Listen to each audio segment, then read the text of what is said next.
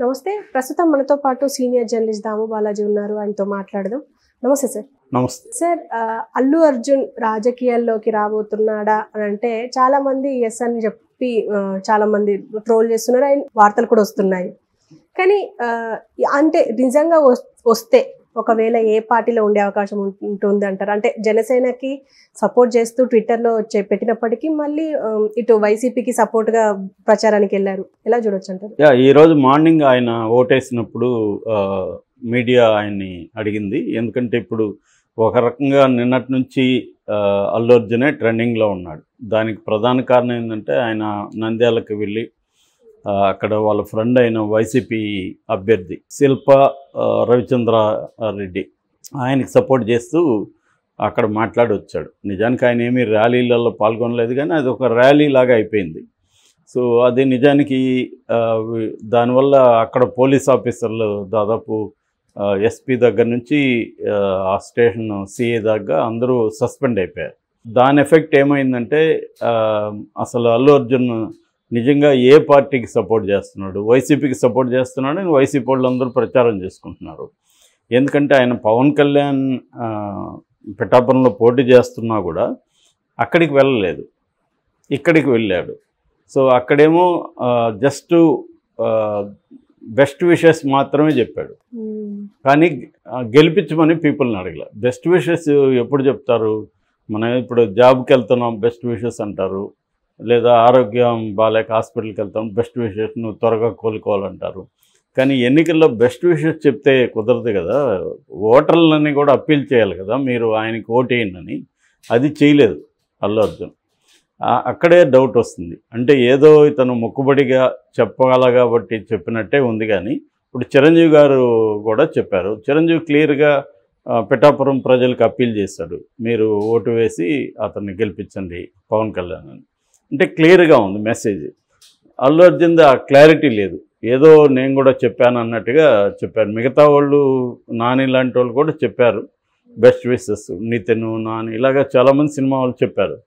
కానీ వీళ్ళు ఫ్యామిలీ కాబట్టి నా అభిమానులకి పిఠాపురం ప్రజలకి నేను విజ్ఞప్తి చేస్తున్నాను. పవన్ కళ్యాణ్ని గెలిపించండి అని ఇవ్వాలి.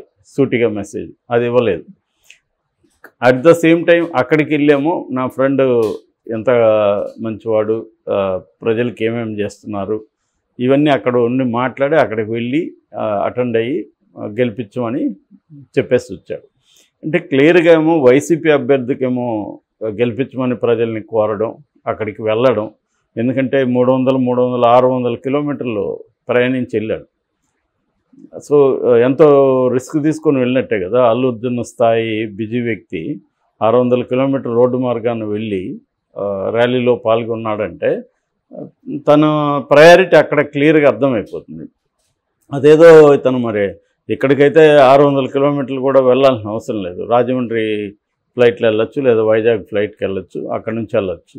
సో అయినా కూడా ఆయన అటు వెళ్ళకుండా అటు వెళ్ళుంటే ఖచ్చితంగా చాలా హెల్ప్ అయ్యేది పవన్ కళ్యాణ్ అది చేయకుండా ఇక్కడికి ఎందుకు వెళ్ళాడు అనేది ఇప్పుడు మేజర్ చర్చ. ఇది ఎప్పుడైతే కేసు అయ్యి ఈసీ సీరియస్ అయ్యి సస్పెండ్ చేసి ఇవన్నీ చేసేసరికి ఇంకా అది వైరల్ అయింది బాగా. మామూలుగా సైలెంట్గా వెళ్ళొచ్చుంటే ఇంత వైరల్ కాదు. అది ఎప్పుడైతే అక్కడ పోలీసులను సస్పెండ్ చేయడం సెంట్రల్ ఈసీ కమిషన్ సీరియస్గా తీసుకోవడం దాని మీద విచారణకు కూడా ఆదేశించడం డిపార్ట్మెంటల్ ఎంక్వైరీకి కూడా ఆదేశించింది. సో అందువల్ల అది ఇంకా బర్న్ అయింది టాపిక్. రెండోది ఏంటంటే చంద్రబాబు కూడా దీని మీద స్పంది నిజానికి ఆయన స్పందించాల్సిన అవసరం లేదు. కానీ ఆయన కూడా స్పందించంటే ఆయనకు కూడా ఎక్కడో కాలింది. సో ఆయన స్పందించి దాన్ని ఏం చేస్తున్నారు వైసీపీ వాళ్ళు? ఈ సైకోలు వీడు పెద్ద సైకో జగన్ని పెద్ద సైకో వీళ్ళు సైకోలు దీన్ని కూడా వదిలిపెట్టలేదు అంటే దాన్ని కట్ చేసి వీళ్ళు అల్లు అర్జున్ సైకో అన్నట్టు అన్నాడు అన్నట్టుగా వీళ్ళు వీడియోలో ప్రచారం చేస్తున్నారు. సో దీనివల్ల ఇంకా అది వైరల్ అవుతుంది. అంటే ఇప్పుడు మనకు తెలుసు ఆంధ్రప్రదేశ్ రాజకీయాలు చాలా అంటే ఎడ్జిలో ఉన్నాయి వాళ్ళ కత్తులు గన్స్ లేవు కానీ అట్లా ఉంది. మోహరించి ఉన్నాయి. రెండు శిబిరాలుగా మారిపోయి తీవ్రంగా మోహరించింది మీడియా కూడా ఈనాడు ఫస్ట్ టైం ఇలాగ డైరెక్ట్గా చంద్రబాబు కోటేయండి జగన్ ఓడించండి అని పిలిపిస్తూ ఫ్రంట్ పేజీలో ఎడిటోరియల్ రాయడం అట్లాగే ఆంధ్రజ్యోతి అంటే ఈ స్థాయిలో ఎవరు కూడా ఇంకా నటించడం కూడా మానేశారు. ఓపెన్ అయిపోయారు అందరూ. సో ఇటు అటు ఓపెన్గా కొట్టుకుంటున్నారు. ఈ కాంటెక్స్ట్లో అల్లు అర్జున్ సడన్గా అదేం టీ కప్పులో తుఫాన్ లాగా ఒకటి క్రియేట్ చేశాడు. సో ఇప్పుడు అందువల్ల మనకు మామూలుగా ఏంటంటే రోజుకి ఏదో ఒక సెన్సేషన్ కలవాటైపోయి ఏది లేకపోతే ఇదిగా ఉంటుంది చప్పగా. అలాగే ఇప్పుడు అల్లు అర్జున్ ఆ, సెన్సేషన్ని చివరి రోజు క్రియేట్ చేశాడు.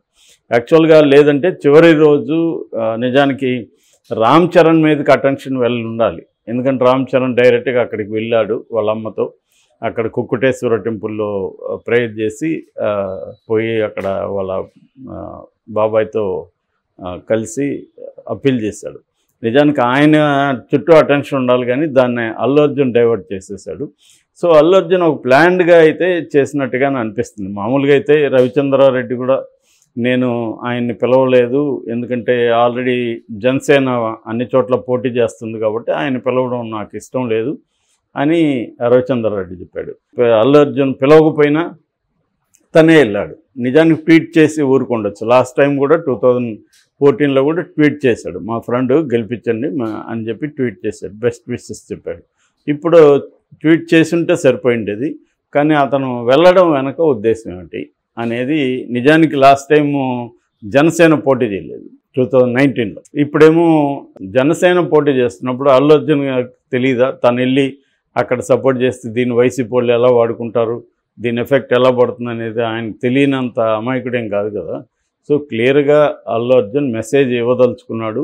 నేను పవన్ కళ్యాణ్ వైపు లేను అన్న ఒక మెసేజ్ ఆయన ఇవ్వదలుచుకున్నాడు అనేది దీంతో అర్థమవుతుంది ఎవరికైనా. సో ఈ విషయాలను ఈరోజు మార్నింగ్ అడిగి మీరు రాజకీయాల్లో వస్తున్నారా అని ఆయన అడిగినప్పుడు ఆయన క్లియర్గా చెప్పింది ఏంటంటే నేను రాజకీయాల్లోకి రా- రావట్లేదు నాకు ఇంట్రెస్ట్ లేదు.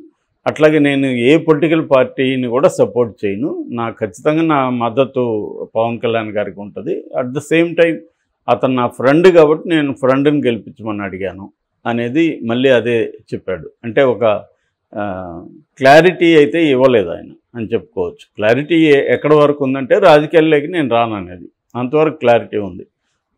సో కానీ భవిష్యత్తులో అతను కూడా రావచ్చు అనేది కూడా అనిపిస్తుంది. ఎందుకంటే శిల్పా రవిచంద్రరెడ్డి చాలాసేపు ఇతని గురించి మాట్లాడింది ఏంటంటే వాళ్ళ ఇద్దరు భార్యలు క్లాస్మేట్స్ అంటే అల్లూరు అర్జున్ వాళ్ళ భార్య ఆమె స్నేహారెడ్డి ఇటు రవిచంద్ర వాళ్ళ వైఫ్ ఇద్దరు క్లాస్మేట్స్ అక్కడ నుంచి పరిచయం అయింది. దాదాపు టెన్ ఫిఫ్టీన్ ఇయర్స్ నుంచి వాళ్ళ స్నేహం కంటిన్యూ అవుతుంది. సో అంటే ఈయన కూడా లవ్ చేసి పెళ్ళి చేసుకున్నాడు కదా అల్లు అర్జున్. సో అలాగా వాళ్ళు మధ్య స్నేహం ఉంది. సో ఎప్పుడు కలిసినా మేము సినిమాలు మాట్లాడడం రాజకీయాలే మాట్లాడతామని కూడా రవిచంద్ర రెడ్డి చెప్తున్నాడు. ఎందుకంటే ఇతనికి సోషల్ అవేర్నెస్ ఎక్కువ ఉంటుంది అల్లు అర్జున్కి. సో ఎప్పుడు కూడా పీపుల్ ఇష్యూస్ ఏంటి పాలిటిక్స్ ఏంటి ఇవే మాట్లాడుకుంటాం మేము. అని చెప్తున్నా అంటే ఖచ్చితంగా అల్లు అర్జున్కి ఆ కైండ్ ఆఫ్ ఇంట్రెస్ట్ ఉందని మనం అర్థం చేసుకోవచ్చు. ఎందుకంటే ఆల్రెడీ ప్రజారాజ్యంలో అల్లు అర్జున్ వాళ్ళ ఫాదర్ అల్లు అరవింద్ చాలా కీలకమైన రోల్ ప్లే చేశాడు. ఆయన కంటెస్ట్ కూడా చేశాడు. కాబట్టి వాళ్ళకి ఇంట్రెస్ట్ లేదని మనం చెప్పలేం.